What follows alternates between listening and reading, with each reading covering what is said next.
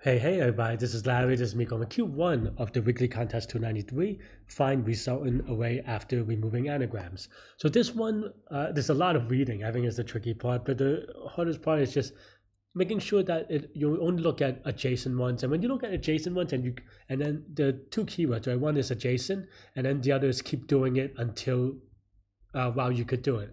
And that gives you the idea that you could just keep doing it. Um, the way that I did it is with a stack because every time you put a number, you want to check if the previous number and then you pop it off as you keep going. Um, that's pretty much it. Uh, you can also just do a lot of for loops. I think n cube is probably fast enough if you're not really uh, sure.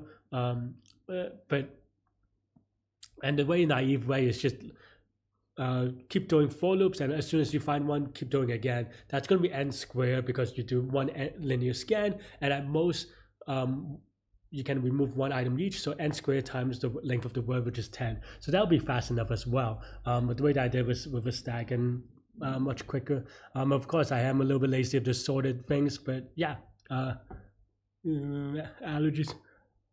Oh my god. Um, okay. oh, excuse me. But yeah, uh, hit the like button, hit the subscribe button, join me on Discord. Let me know what you think about this poem. And you could watch me solve live during the contest.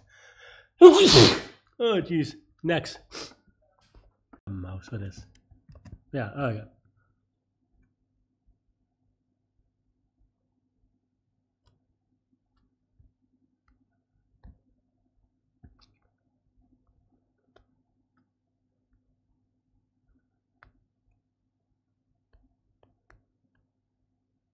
Okay. Hmm.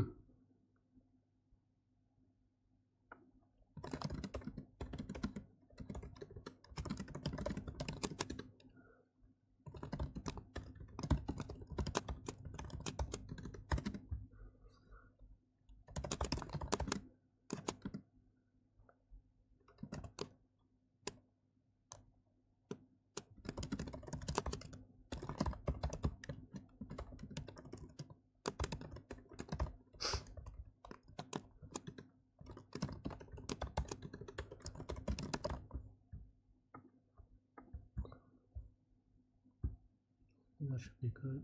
unless I misread the poem. Uh, yeah, thanks for watching. Hit the like button, hit the subscribe button, join me on Discord. Let me know what you think about this poem and this contest and all these other good things. Uh, I'll see you later and take care. And yeah, goodbye.